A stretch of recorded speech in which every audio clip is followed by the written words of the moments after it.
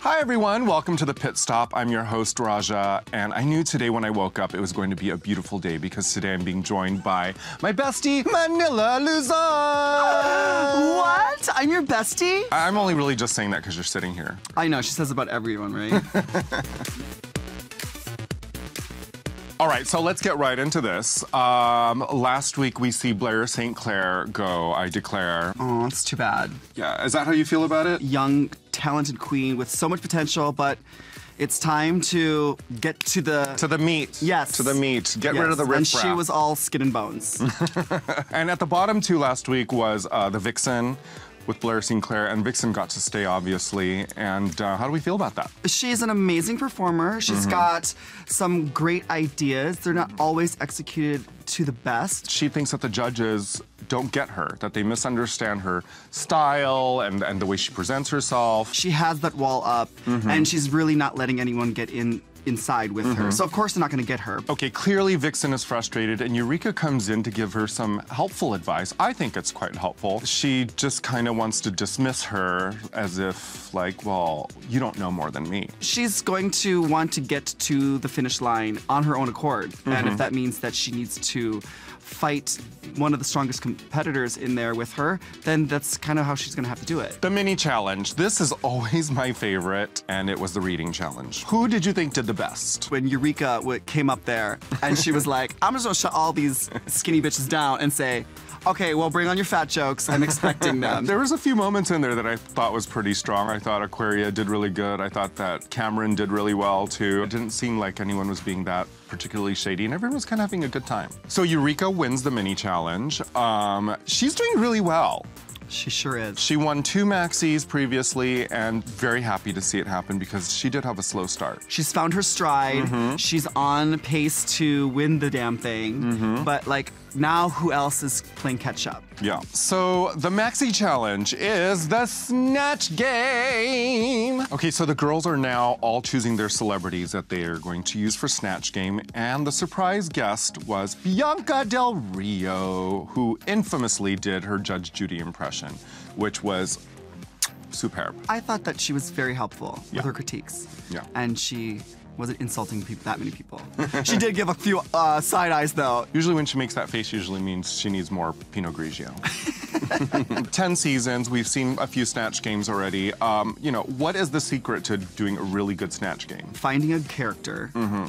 sticking with that character the entire time. So there's a lot of pressure. Uh, this is not a very easy challenge. And as Rue's going around the room, she's shooting them down. Yeah. Girl, some She's of the, being very harsh, in fact, on some of them. she sure is. She's like, well, let me hear it. Oh, is that what you have? In fact, uh, Rue was speaking to Eureka, and she and Eureka says that she wanted to do Divine. She gave her her little like impression of Divine, and Rue's like, "What else you got?" Oh yeah. Now about- can you do divine? What about that one? and I'm so glad that she she kind of coaxed her and talked her out of doing divine because Eureka's Honey Boo Boo was a success in my opinion. Eureka has proven that she can go over the top. Yeah, she was definitely one of my favorites. Also strong on top for me was Aquaria as Melania Trump. Who knew she was going to do such an amazing job? She had the blinking down. She had her face taped up. Mm-hmm. And I knew that this bitch was going to do a good job, Miss Monét X Change as Maya Angelou. Yes, that was pretty funny. I mean, an affected voice is always fun to like see because you can really like go into it, and she she really did it. Let's talk about the unfunny moments for us. Let's start with Asia as Beyonce. My advice to queens is if you want to do Beyonce, do Beyonce right and do Beyonce funny. A Beyonce wig and a sparkly outfit do not a Beyonce make. Vixen and Asia kind of started doing this little partnership where, you know, obviously Beyonce is mother and her and Vixen is Blue Ivy. How well do you think that worked out for them? It went terrible. I know. it was terrible. I think they didn't know how to play it, so therefore they couldn't interact with one another Yeah, because they didn't know who they were. yeah, it wasn't working. And last but not least, we got to talk about Monique. Uh, Monique Heart as Maxine Waters. What'd she do wrong? The, the what she did The wrong. The look was good. The look, The look, look was was, on point. Maxine Waters had a, f- a fun meme moment with the uh, taking back her time, but it's not enough reference to do an entire character Right.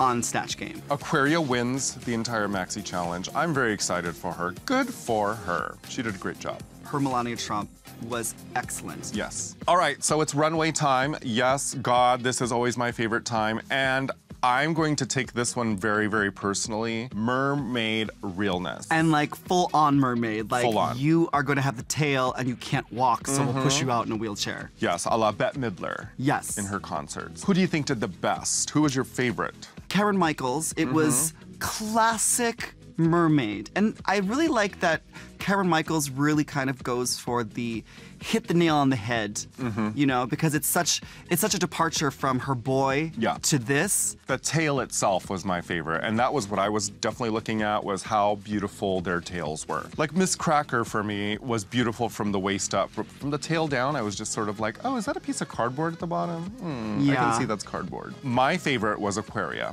Yes. I seem to pick Aquaria a lot during the runway challenges because she really brings it.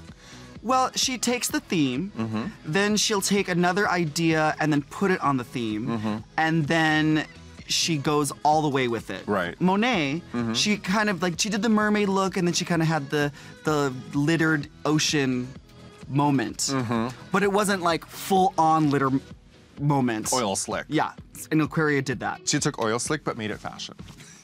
My other favorite, now this is probably going to be very controversial, but I actually love Asia's look. I That was my favorite, one of my favorite mermaid looks ever. If RuPaul can cover her face uh, during the runway, I'm gonna cover my face and just have my mouth sticking out. Now, who were your least favorites? Monique. Mm-hmm. The nude illusion was just kind of meh with like the rhinestones, and then it just went bluntly into that fabric, which wasn't enough of scales.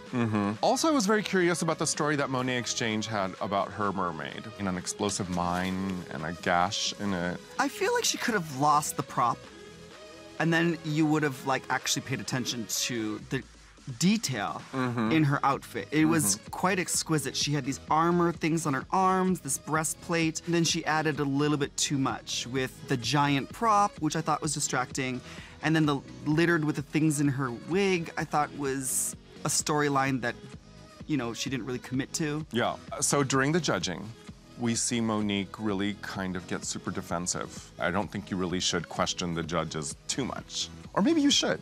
What would you have done? Yeah, sometimes it, it's frustrating when you have to explain yourself. It's it's hard to fight the judges. Right. Like, don't do it. They're Right. trying to, to critique you and help you out for the next time. The girls are all asked who they think should go home first, and to me, this is like one of the mo- one of the hardest things to answer when you're standing up there. You can say how you feel. You can say what your strategy is for the game, Mm-hmm. or you can just jump on the bandwagon with everyone and say the vixen. You know what I mean? The exchange that was happening between Vixen and Eureka. I see Eureka really trying to make an effort to build a friendship and to make peace. Whereas Vixen is not letting that go and continually wants to fight. And clearly, everyone else on the stage wants her to go. now everyone's like, okay, she's starting to show her weaknesses. Mm-hmm. And one of her weaknesses is that even though Eureka is making an effort Mm-hmm. to smooth things over, she's not accepting. Yeah. Now it's time for the lip sync for your life. And we have Vixen and Monique at the bottom. Someone wasn't prepared to be lip syncing tonight. Whoop! It was Miss Monique, darling. And that was the first thing that we saw. the Why? first line out, she missed the first line, and then she broke the other rule. Which RuPaul is? says if you're gonna take your wig off, you better have a wig underneath it. She was reaching. My favorite was that sad cartwheel. Vixen wins the lip sync, and she gets to stay. Vixen is a controversial character, but Mm-hmm. I'm happy she's still around because I just love seeing her get into fights. Me too. I love the drama. I love seeing her fighting her way to the top. Who do you think is the front runner um, as far as whoever's left from this uh, competition? I feel like in the last few episodes we've seen Eureka shine. Mm-hmm. We're starting to see a lot more personality from Aquaria, so now the personality is starting to match the looks. I'm still waiting for more Kameron Michaels. This is the part where I really start to pay attention. Bitches better bring it. They better bring it. So Mm-hmm. I hope they were saving up their energy for the next few episodes because it's going to be tough. Amen. Well, Manila, I want to thank you so much for joining me today. Um, we have a bottle of white wine chilling for us. We do? Yes, I think so. You liar, it's a I'm box. such a It's a box. And I want to thank every single one of you for joining me today on the pit stop. We'll see you next week. Goodbye, everyone. Bye, everyone.